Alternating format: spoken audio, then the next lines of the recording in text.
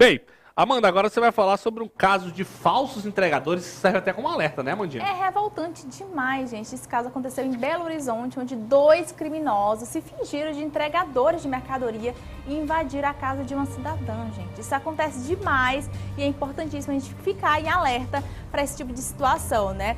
É, eles gritaram o nome da mulher, né, até que ela abriu a, a, porta e eles sacaram a arma e invadiram a casa dessa mulher.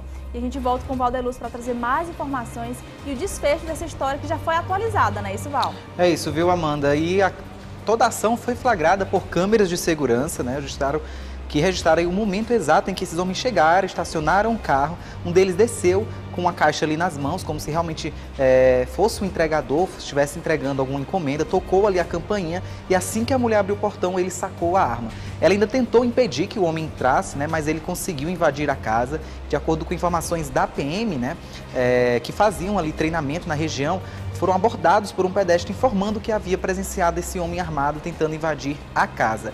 E ao chegarem no local, os militares viram os suspeitos que tentaram fugir, porém um deles foi preso e com ele a PM apreendeu uma fita adesiva, uma réplica de arma de fogo e ainda abraçadeiras, materiais que já eram, inclusive, estavam sendo utilizados para aplicar esse tipo de crime. Né? Eles passaram por entregadores, batiam ali na tocavam a campainha e quando as pessoas abriam, eles anunciavam o assalto. Né? Muitas vezes já estavam dentro da casa, não tinha nem como fugir, evitar que fossem vítimas desses criminosos e serve aí esse caso de alerta, caso que vem lá de Belo Horizonte, para todo mundo, né? Se você não tem, não está esperando uma encomenda, não tá, não, é, não conhece aquela pessoa, que geralmente é o mesmo é, carteiro que passa ali pela região, às vezes é o mesmo sistema que você tem, já desconfie, não abra o portão, acione alguém, né? não mostre que está sozinho em casa, porque esse tem sido um novo tipo de crime praticado e que tem se tornado cada vez mais comum uma criatividade para o mal, né? Não só como entregadores, mas também como mototaxistas.